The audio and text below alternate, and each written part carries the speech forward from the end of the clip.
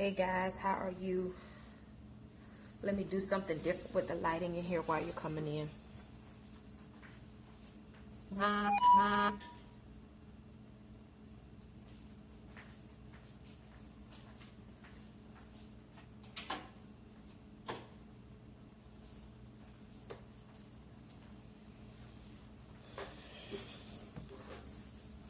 Hey Pastor K, how are you? Let me do something different.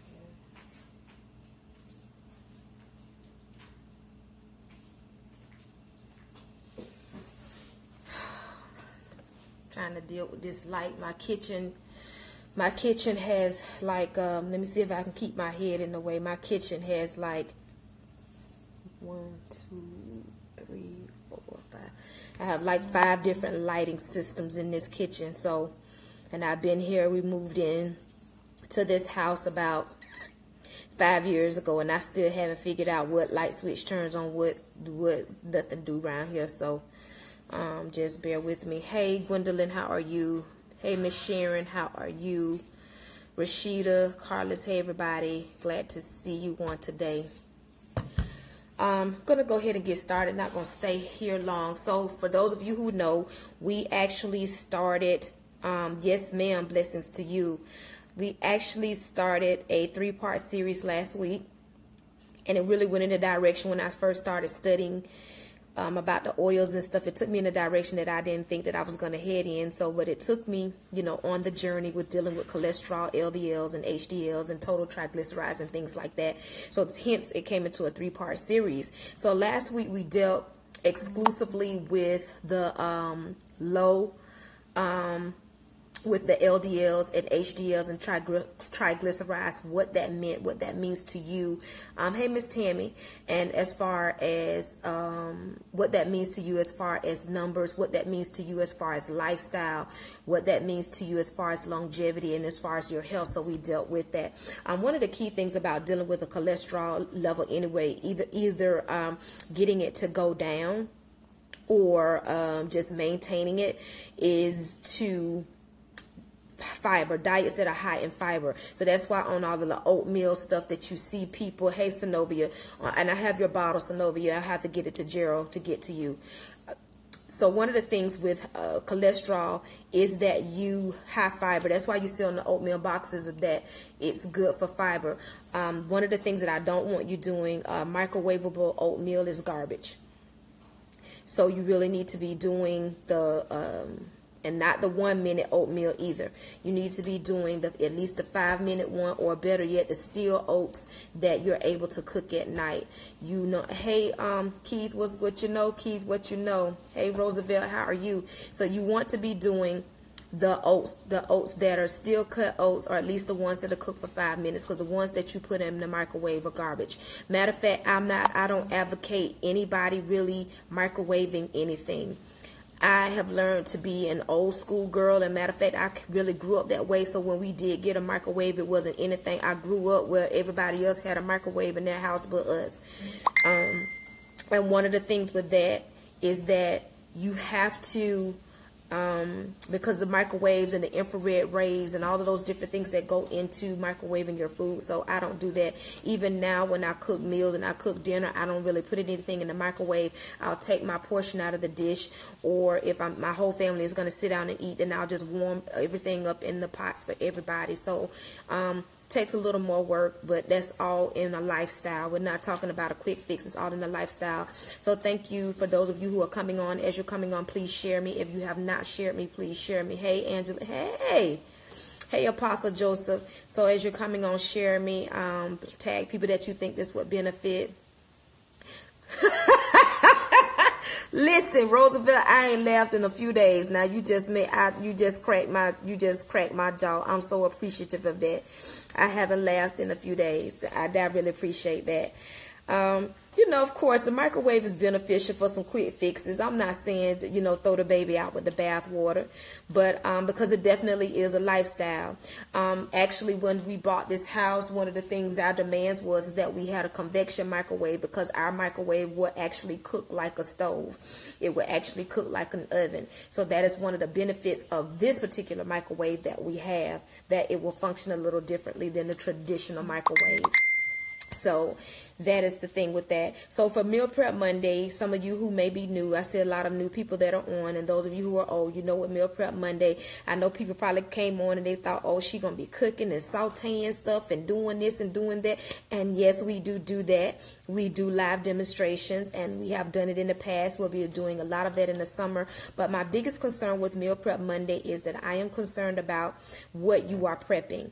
Um, it is, you know, meal prepping is a trend now. Everybody has their pla- their their, their uh, plastic kits out, and everybody got their stuff out, and they're cooking on Saturday, cooking on Sunday, and they're preparing things for um, all week long.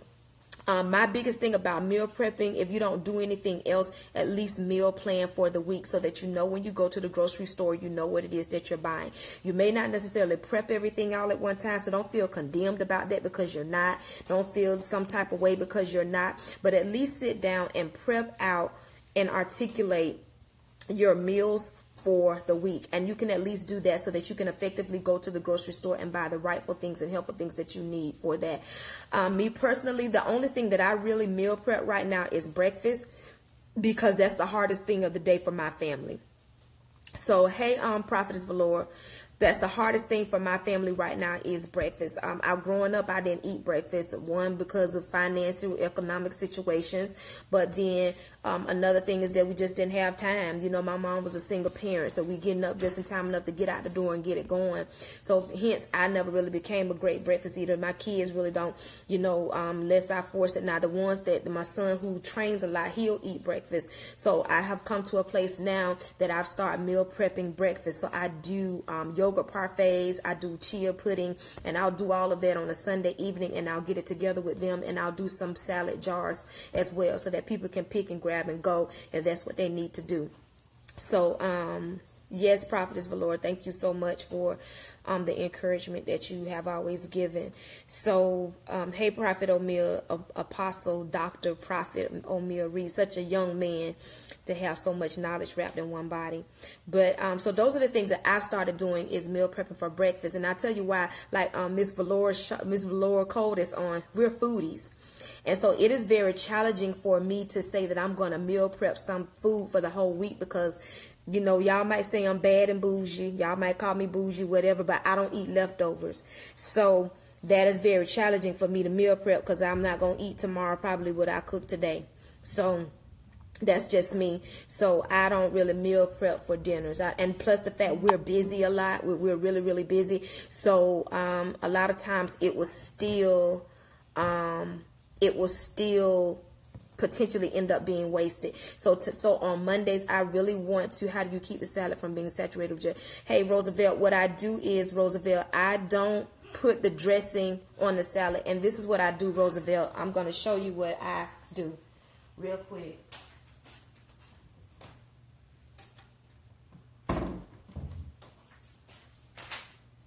I did a salad dressing demonstration. I made a soy balsamic vinaigrette a few weeks ago and I think I made a Dijon mustard vinaigrette a couple of weeks ago and I used these bottles um, to make them. And what it is is that um, I go ahead and I pre-make these in here in those particular things that so if I'm at home I can use this. But if I'm not at home hey Demesia um, congratulations on your um, your launch for your nonprofit ministry or nonprofit organization. Congratulations big ups to you um, so I use this Roosevelt or I have, um, I don't have my little containers in here. They're in another place that would take me too far away from the phone. But I, or I'll put my dressing in little containers, especially if I'm going to take it to work with me or, or they going to take it with them because my work is at my house. I'm full-time ministry and then my, I'm full, and I'm a business owner. So I'm home. So, but I do this right here and it was a, so you can go back and see how I made those. It was really really cool. So that's what I do with that. Um so that's what I want for you all to understand what to put in your containers for the meal prep. Yes ma'am. Yes ma'am. Yes ma'am. To God be all the glory for that push. We all need a push sometime. So I want you all to understand what it is that you need to put in these containers.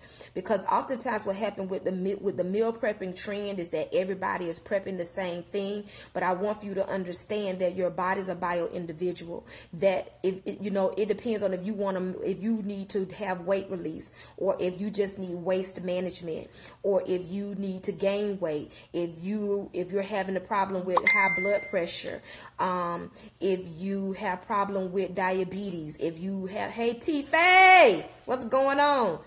If you have problem with problems with diabetes, if you have problems with high blood pressure, um, if you have thyroid problems, all of those different dynamics dictates how you're going to prep your meals for the week. It could be something very different. So that's what I want to I want us to get on the trend of meal prepping and meal preparation, but I want for you to begin to be specific in regards to the needs that you have for your body and the needs that you have for your family and not just put something in a plate or put something in some plastic containers just because you saw mom and them do it or you saw somebody else do it. Because what they are putting what they are meal prepping may not be hey malika what they are meal prepping may not be beneficial for you.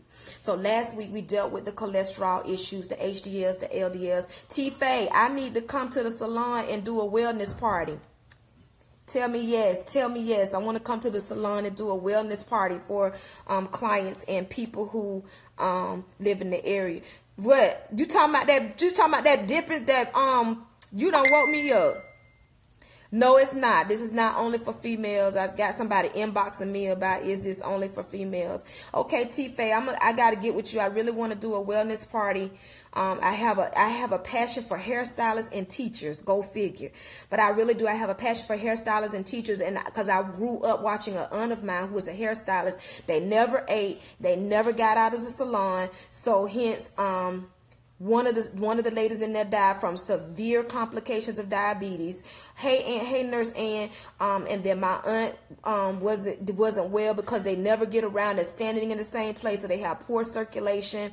Um, they they they can't get nothing to eat. So I really want to get in the salon, get in your salon, and start doing wellness parties. So if you are a salon agent like T um, owner, and you have a salon, I would love to come do a wellness party there for you and your clients and other stylists that would want to come in the area and get educated. And also, I would love to do something with meal preps for salon owners and for those who rent booths rentals for them to at least um for to bring a meal to them a day um very economical so that you can eat well the salon people got to eat well they slay us and everything else and they need to eat well too but that's my rant away that's a sidebar so tonight i want to talk about the um, oils that we need to use to cook, the oils that we use to cook.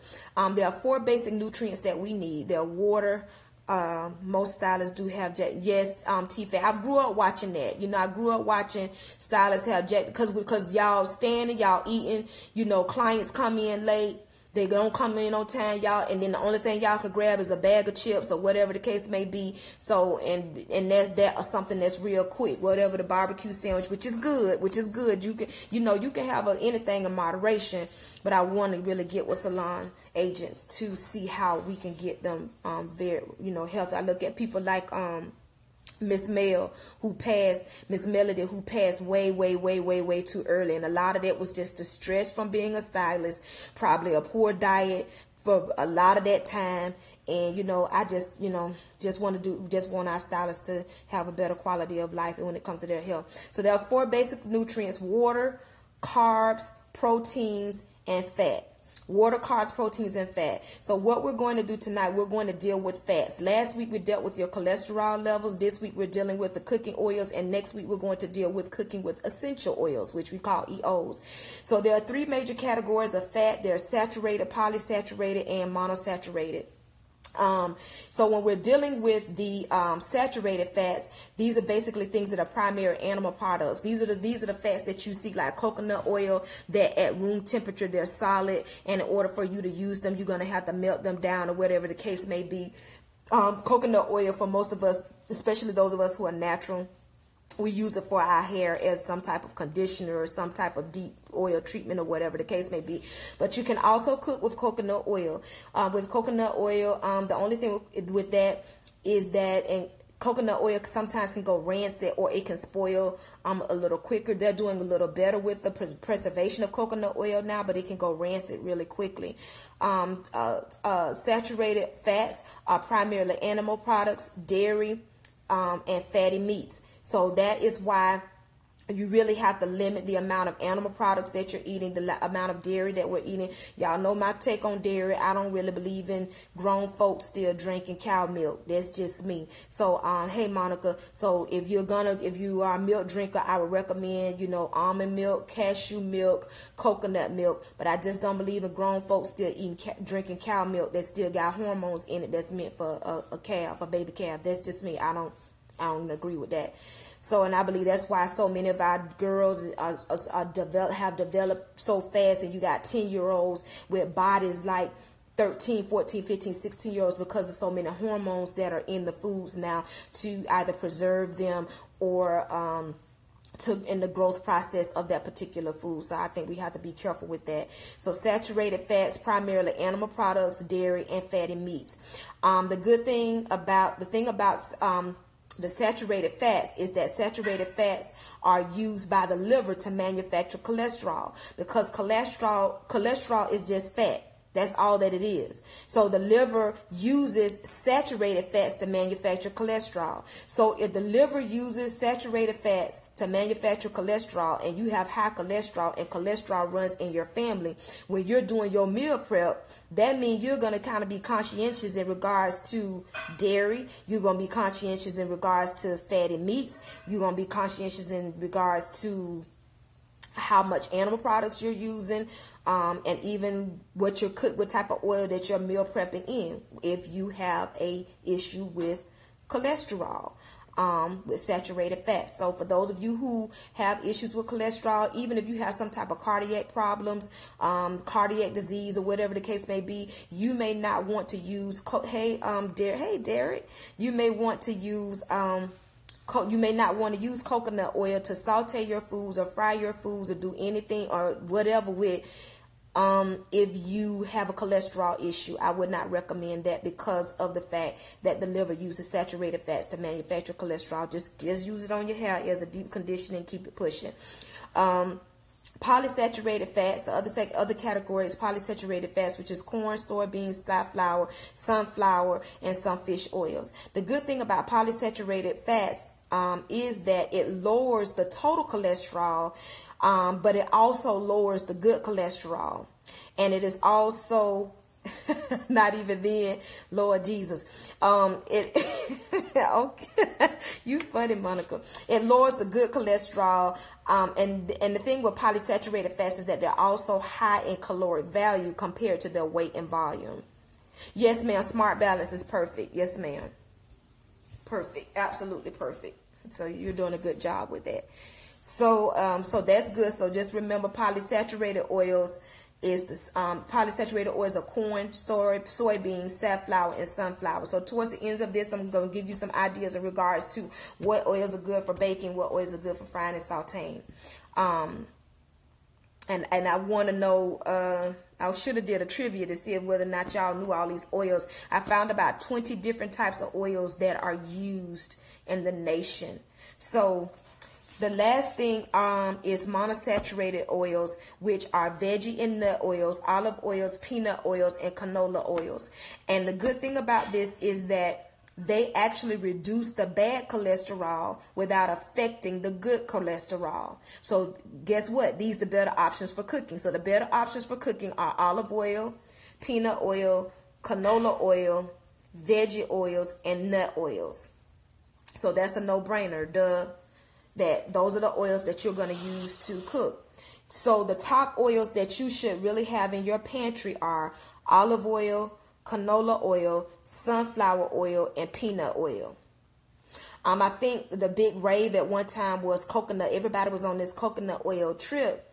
But the only thing is, is that it really does not have, um, it actually is on the bottom of the list for quality oils as it relates to consumption, truthfully.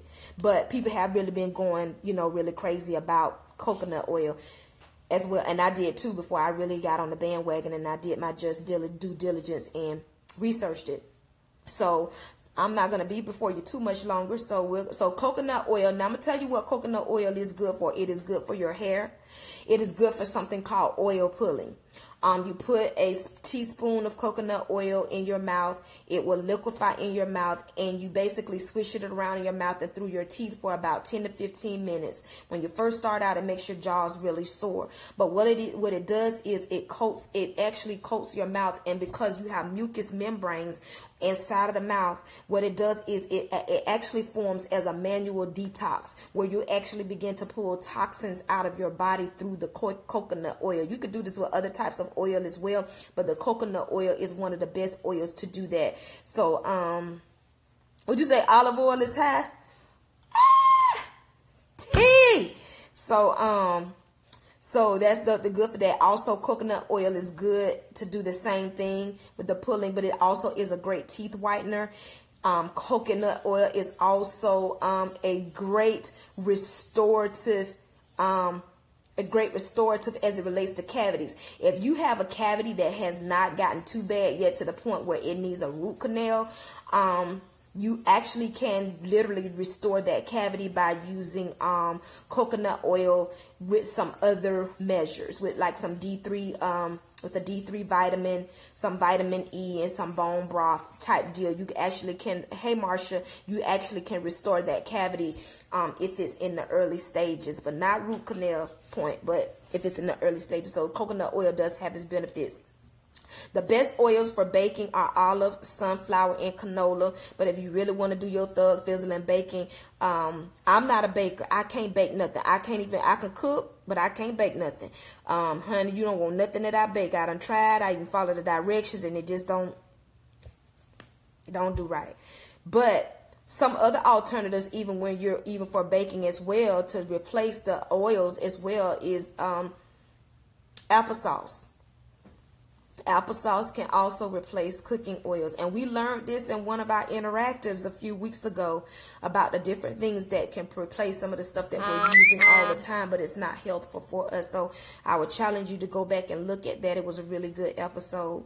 Um, the Now, the, the best oil for sauteing is um, extra virgin olive oil. Now that's the best oil for sauteing, and that's also the best oil for if you want to create your own salad dressings as well because it, it, it really will um, take on the flavor beautifully of the ingredients that you put in whether it's balsamic vinaigrette um, balsamic vinegar whether it's lemon lime whatever it is that you choose with your herbs it really works beautifully with that. So with the extra virgin olive oil. Hey Sharonda how is Texas doing? How is your son doing? Has graduation happened yet?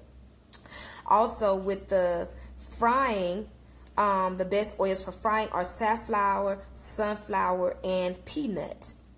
Safflower, sunflower, and peanut. One of the things with them, the reason why they're good for that as well is because they have a high conduction rate, which means that they have a high burn point before they was a high smoke point before they start smoking up your house.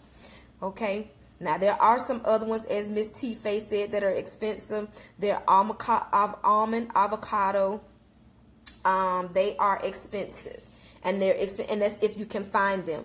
Um, what happens in westernized culture when we're here in the U.S. There are so many other health opportunities for different things that we that we don't have available to us. Like how many of you know that there was a hazelnut oil? Um, how many of you knew that there was a hazelnut oil, a pistachio oil, a rice bran oil? And apricot oil. How many of you knew that those are the those are different type of oils? So I will give you an assignment between now and next meal prep Monday to go in a health food store and look around and see what they have to offer. Um, that's one of the things that I really want to break the barrier of is us wrapping around our minds about the expense because usually yes the things may be a little more high in, in retail value but you don't have to use as much.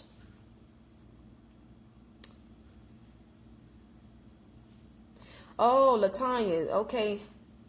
Battling with this cholesterol and triglycerides now. Yes, ma'am. So you battling with that, just make sure you getting your oatmeal, getting your oatmeal in. Um, for you since you're battling with it, you really need to be doing oatmeal every day. Still oats, not that quick stuff, not that microwave stuff, and not that one minute stuff. You need to be doing the real deal oatmeal. I want you doing the oatmeal every day with some fresh fruit if you're going if you're gonna flavor it, flavor it with a little bit of honey, a little bit of maple syrup, and I want you to increase your fiber intake um, as well because that's what really really helps with the um, with with the um, with the with the um, cholesterol levels because that's what you trying to reduce the plaque from hardening in the arteries or making deposits in the arteries. When you have the high fiber then hey Katrina when you have the high fiber then that's what that's what helps with that. That's also with that. Yes walking for 30 minutes a day help lower cholesterol too. Absolutely. So yes and so that means that we got to increase our um, we got to increase our exercise and we have to minimize our fried foods. And all honesty, um, I can honestly tell you, and this is no lie, um, it's 12 months in a year, and I promise you, in my house, we probably we probably fry something maybe five times in our house.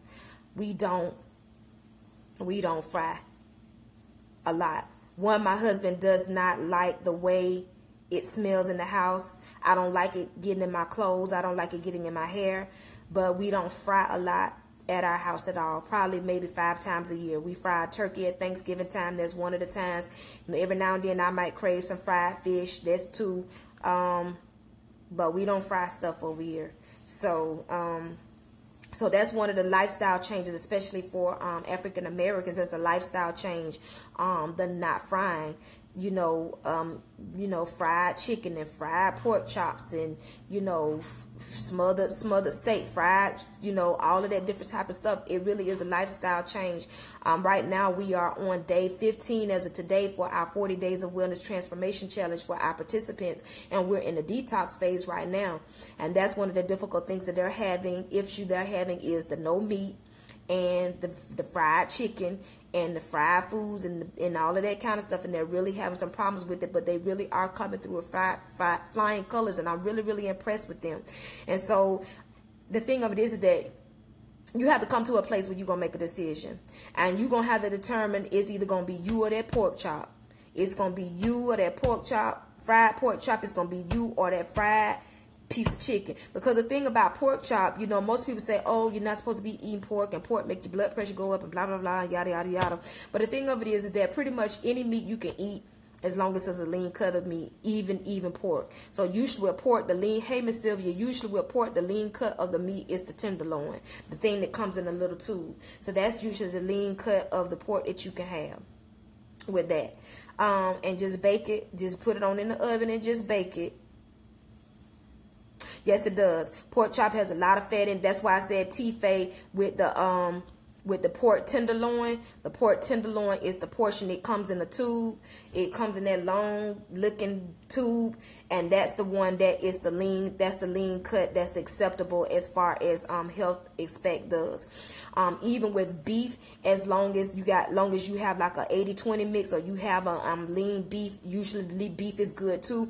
Because the reality of it is is that when we start talking about the fat or we start talking about the beef and the different meats that have different things, we have to be careful because what may work for you does not work for me. And what does not work for me may not work for you. So you might not be able to eat pork chop and you might not be able to eat beef. And then some people it's just a preference. They just whether it's religious or whatever they just that's not what they do.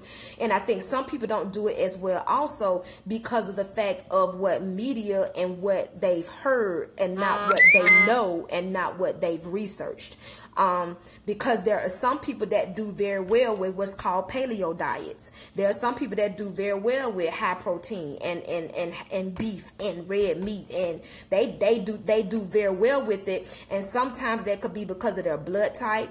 Um, depending on what blood type you are, you will do well with beef.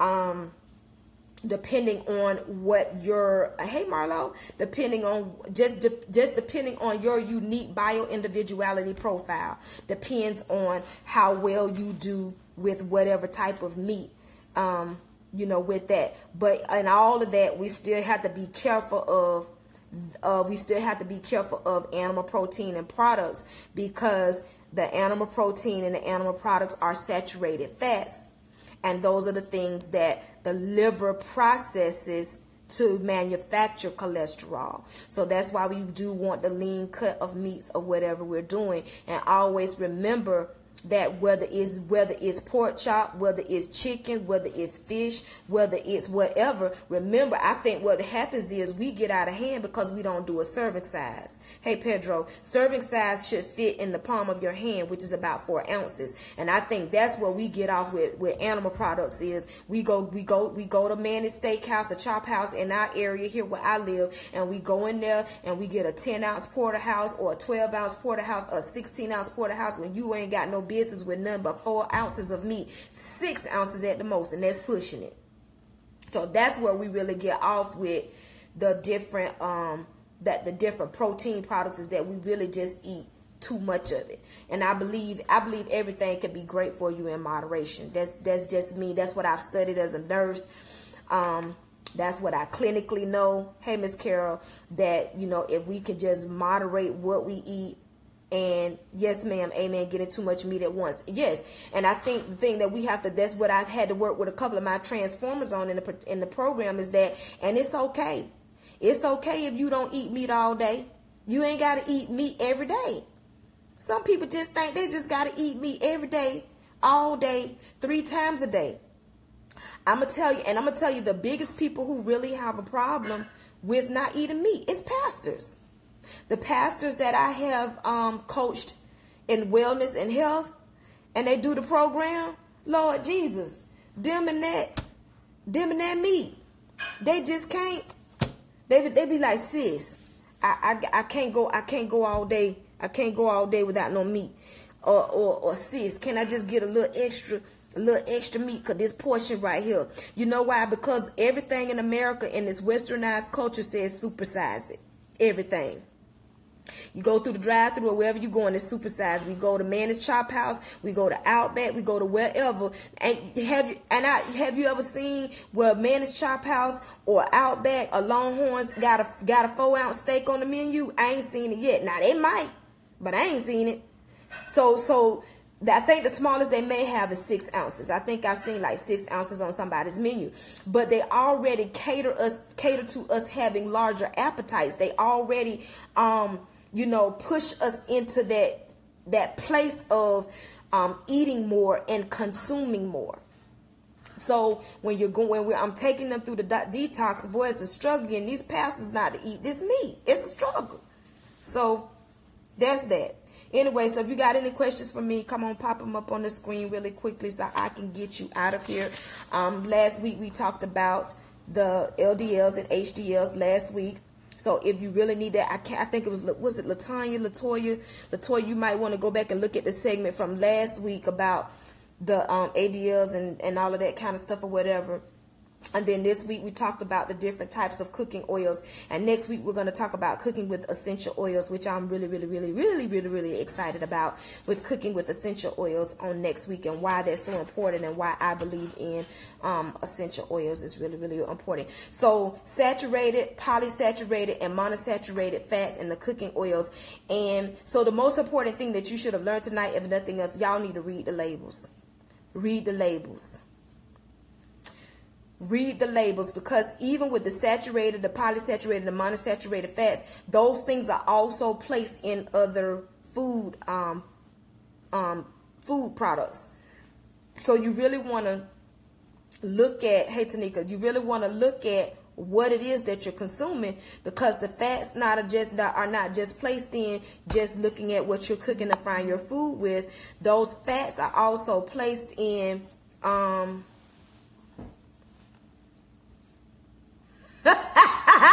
T Faye, I can't. Faye, T, I can't with you today.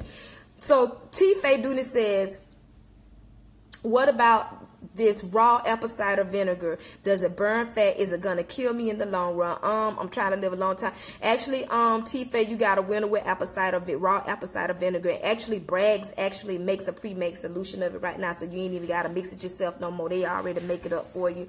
So actually um it's good for you. The acv um wash um, you can actually, you know, they used to call, there was one they used to call the master cleanse with the cinnamon in it and all that kind of stuff. A lot of people can't handle it because it gives them, um, they kind of get what the what the old people come say. It come back up on them. It come back up on them. But a lot of stuff, yes, yes, Tammy, the Bragg's is very, very good, very good. So T Faye, try the Bragg's if you haven't already, but it is good for you. Y'all know I'm a big proponent of eight to sixteen ounces of warm lemon water every morning. So T Faye, actually, what that ACV is doing is actually functioning as a little mini detox that you're getting every day is what it's functioning as. And the reason why it says that it burns fat because what it does is it actually stimulates the metabolism, uh, the metabolism, but it actually it actually goes in and it deals with your gut too. We have to remember that our gut our intestinal tube houses 80% of our immunity. So if our gut is not healthy, then we're going to be sick and our immunity rate is going to be lower. That's why I'm so excited about talking about cooking with essential oils next week because 80% of our immune system is in our gut. That's why a lot of us are, um, you know, are sick. That's why a lot of us have so many different ailments because our gut is so filled up. You know, we people of God and, you know, this is what I like to, um, oh, with Indian River grapefruit juice, I got to try that tea. So, um, that's why, yeah, and those toxins that are caused by the free radicals in your body. You can't get around the free radicals. When you breathe, you produce free radicals. When you move, you produce free radicals. When you sleep, you produce free radicals. So you have to have antioxidants that come into play with that. I need help with my gut. Marcia, what's going on with your gut? So, um, so we need that. And you know, Marcia, most of us need help with our gut. I had irritable bowel syndrome for years for years, and I actually have a bathroom phobia. Um, my husband will not, he'll clean every room in the house, but he will not clean the bathroom because he's like, girl, can't nobody clean that bathroom like you. I have a bathroom phobia, and for me to have had irritable bowel syndrome was like, it was very traumatic because I have a bathroom phobia, but when you have to go, you have to go. And so I really had to come to a place where I really had to heal my gut because I was not going to be going in there by the bathroom. I just was not going to be doing that. So, um, so with that being said, we have to do that so that we can be healed through and out. You know, that is one thing with us is, you know, those of us who are faith-based, sometimes, you know, and, and I know people I'm not going to like me. Y'all probably going to give me no more hearts after this. You might not get on again. But I think the thing of it is that we're missing into play that the Bible says that some things come out through fasting and prayer. And we've always taken, we take that hey Glenn. And we've always taken that to mean that we understand some things come out through fasting and prayer which are the things that are demonic. But however i believe that some things come out through fasting and prayer. You know there are so many diabetics that are scared to fast because of the fact that they have to get that glipizide in the morning. They have to get that metformin in the morning. And this and this and let me tell you something. And this is the trick of pharmakeia to keep people from being able to fast and keep people from being able to be I have IBS with C, okay, and stay bloated, but not on anything for it. Okay, so Marlo, I'm gonna put some. So that was Marlo, and who else was that? Marlo and Marcia. Okay, I got you. I'm gonna put some stuff together on that. So um, so so, but I believe that when we fast, yes, most people dig their grave. They don't dig. Listen, T. They don't dig their grave with no fork. They dig their grave with their teeth. That's how they do that. And I just, I, I'm just gonna be very honest and transparent. Um, I I find it hard to believe that the church is over six, over fifty percent overweight and we're supposed to be people that fast and pray. We might be praying, but we can't be fasting. Not, not, not, not when everywhere that I go minister, 50 to 60% of the people are overweight. And I want to say, and, and, and a great deal of those that are overweight, morbidly obese. Because if we hate the marriage, because if we stick to the protocol that God has given us, fasting and prayer. Uh, this this obesity and this morbid obesity and all of this sickness in the church. I, I just I just don't believe I just don't believe that we will be dealing with it. I, I just really don't. Yes, ma'am. Bragg's is a brand. It is a brand. It has a yellow label and it'll say Bragg's on it. Go if you go in the vinegar section, it'll be there shouting at you loud and clear. It's real loud bottle, and it'll have if the that You get the mother of um. It's like you literally get the root, the mother. They call it the mother or something like that. So um, that that's what I really believe, and so that's what you know I'm really really working on with my transformers is you know for them to have a lifestyle, to have a lifestyle of health and a lifestyle of wellness, and um, that's what we're working on. So it starts with how we prep. It starts with how we prep our foods to begin with. Yes, Tam is Tam is with the mother. Does Bragg's does the ACV come with the mother too? feeding the physical and starting the fit, fit spiritual. Jesus help us to do better. Yes, ma'am. If we ask him to help us to do better, we will. You know what, Marla? I think we have come to a place where we we ask Jesus to do everything else. But we don't ask Jesus to help us with what we put in our mouth. Lord have mercy. Mm. Mm. We don't do it. We don't do it. Everything you speak out of. Listen T and not only GNC, but now um now Winn-Dixie and Publix got Bragg's now too. Mm-hmm. So you don't have just have to go in a health food store to get it used to be that was the only place you could find Bragg's was in a health food store. But now because everybody gotta get a piece of the pie and everybody gotta get some money, you can find the Bragg's actually in Publix. You can find Bragg's in Publix, Walmart, and Winn-Dixie. Yep. Okay, so as we're talking and getting ready to close out, Malika says she uses ACV daily. So Malika and T Faye, can you tell us what um and Tammy, can you tell us what the benefits have been for you? Have you seen a difference in regards to using the ACV? And if so, what are the differences that you have seen so that they can see? We so off topic, y'all, about these oils, but come on, let's go with it. So, um, T Faye, what are some benefits that you that you think that you have noticed from using the ACV? Tammy, what are some of the benefits that you think that you have seen from using the ACV and though others who have used it as well? What are some of the benefits that you have seen um, with using it?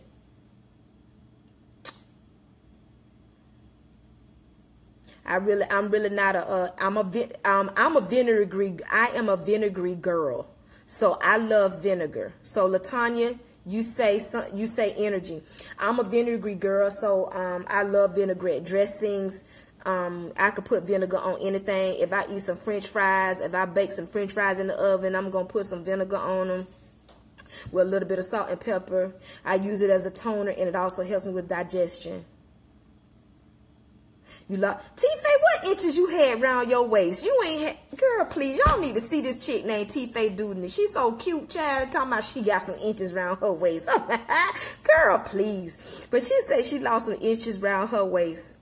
Um lost inches around her waist. Yes, for me, it is definitely uh, my digestion. I, I use the uh, lemon water. Hey, Pastor T, I use the lemon water for um, the same thing. It helps me with my digestion. Um, and that is really one of the things that I use to start healing my irritable bowel syndrome was that lemon water and plus the fat increasing um, increasing the fiber that my fiber intake as well. And I love and found out that I love oatmeal. So I started doing that. I've tried it yeah and felt so much better. Yes and it helps with bloating Yes, yeah, when you get that yucky, ucky feeling and that bloating, yes, it does. So it does help with that. Cool beans. All right, guys. So there you have it. So this week, um, join me again on Wednesday. We're going to be we're going to go back into female flow. That is going to be our midweek wellness manna series for the next couple of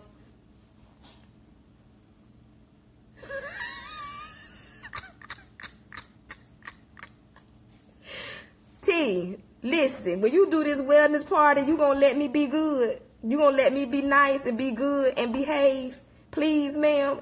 Please. When I come over to the salon and we do this little party, we gonna you gonna let me behave. You, you ain't gonna you ain't gonna make me act up, are you? Anyway, she, y'all, she is a hoot. She is hilarious. Hilarious. You you beyond. You beyond a mess, but you a blessed mess.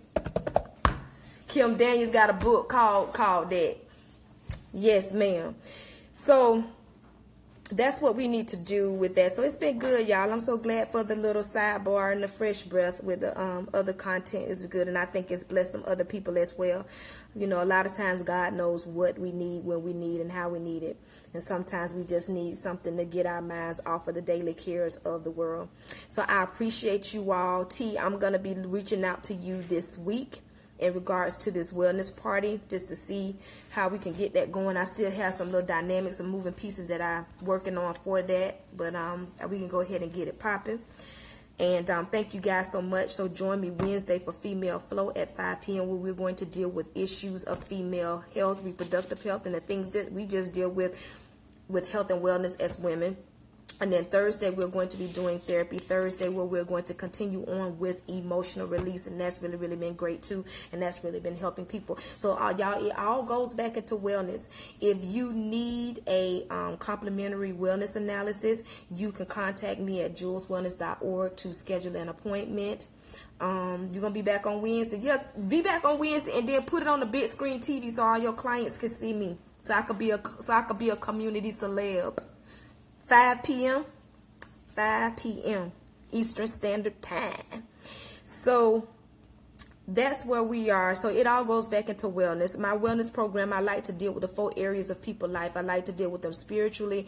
I like to deal with them socially, economically, and physically. So I like to deal with every area of their life. There are 10 dimensions of wellness. And most people like to just focus on weight loss. And that's not my deal because I feel like if you eat well and you improve your lifestyle, you improve your mindset, weight just becomes a byproduct. And what happens when you just focus on the weight, that's why the weight comes back because you just focus on the weight.